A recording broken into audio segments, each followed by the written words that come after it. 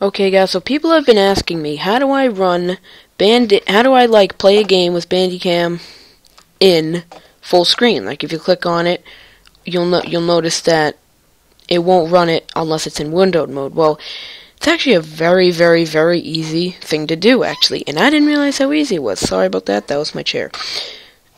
Um, I didn't realize just exactly how easy this was. What you do is you click on.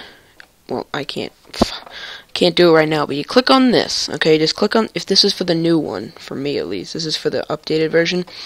You click on the game, and uh, say you open up a game like Euro Truck Simulator 2, open it up, and then you'll notice though what you can do is when you're in there, you look, record and stop. I have it set to um, the key right next to number one on the left. So that way, once you launch Euro Truck, wherever you want to start it, just press that button, and you'll notice it goes from green to red. And then it's recording.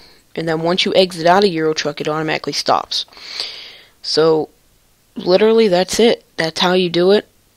Um, I really wish I could show you, but I can't. Because I can't show desktop in that mode and whatever, so... That's about it, though. Um, like, subscribe, and favorite, uh, comment, let me know what other things you'd like to do. I'm figuring out these things little by little, but I'm getting there. Also, might as well show you this. On my channel, hopefully by tonight, maybe by tomorrow, this game will be on my channel. Vanishing of Ethan Carter. Alright, so that's about it for now, guys, and I'll see you guys later.